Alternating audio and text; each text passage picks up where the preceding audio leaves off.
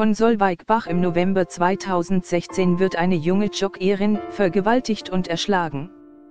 Ein Jahr später steht der mutmaßliche Täter vor Gericht, ein Fernfahrer, der offenbar schon einmal mordete. Zunächst scheint es nur, als habe Caroline G. ihre Jog-in-Grunde ein wenig ausgedehnt. Doch als sie nach einer Stunde an einem Sonntag im November 2016 nicht wieder da ist, schlägt ihre Familie Alarm. Fünf Tage später wird die Leiche der jungen Frau in den Weinbergen zwischen Endingen und dem Nachbarort Balingen gefunden. Schnell ist klar, die 27-Jährige wurde Opfer eines Sexualverbrechens. Monatelang arbeiten die Ermittler an dem Fall, ohne einen Durchbruch melden zu können. Der Leiter der Kriminalpolizei, Peter Egetemeyer, spricht später von einem Langstreckenlauf der Beamten. Sie finden unter anderem DNA-Spuren, die zu einem Fall in Österreich führen. Dort wurde im Januar 2014 die französische Austauschstudentin Lukile K.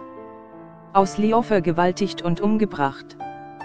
In beiden Fällen wurden die Opfer laut Polizei sexuell missbraucht und vermutlich mit einer Eisenstange erschlagen. Beide Taten ereigneten sich an einem Sonntag.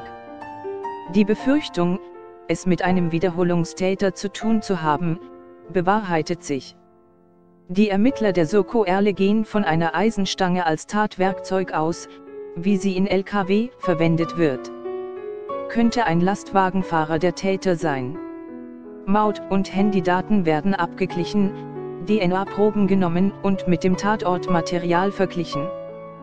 Anfang Juni 2016, sieben Monate nach dem Mord an Caroline G., wird der mutmaßliche Täter in beiden Fällen schließlich festgenommen. Es ist Karalin C., ein rumänischer Fernfahrer, der für eine Spedition in Endingen arbeitete. Dort erlebten ihn die Kollegen als angenehm und sympathisch. Der Vater dreier Kinder zeigte sich auf seinem Facebook-Profil als liebevoller Familienmensch. Nach seiner Festnahme berichteten rumänische Zeitungen jedoch von einer gescheiterten Ehe und hohen Schulden. Außerdem wurde C. mit ungeklärten Frauenmorden in seiner Heimat in Verbindung gebracht. Dafür gibt es jedoch keine Beweise. Von der Polizei hieß es lediglich, dass Cs DNA-Profil mit Datensätzen in ganz Europa abgeglichen werde. In Freiburg lautet die Anklage gegen den 40-Jährigen auf Mord und besonders schwere Vergewaltigung. Die Staatsanwaltschaft sieht drei Mordmerkmale als gegeben an, der Mann habe die Tat an Caroline G. heimtückisch, zur Befriedigung des Geschlechtstriebs und zur Verdeckung einer Straftat begangen. In dem Prozess treten nach Gerichtsangaben die Eltern und der Ehemann der jungen Frau als Nebenkläger auf. Aussagen sollen auch österreichische Ermittler. Für die Tat in Österreich wird es in Innsbruck jedoch ein eigenes Strafverfahren geben. C. selbst hat die Vorwürfe bestritten und schweigt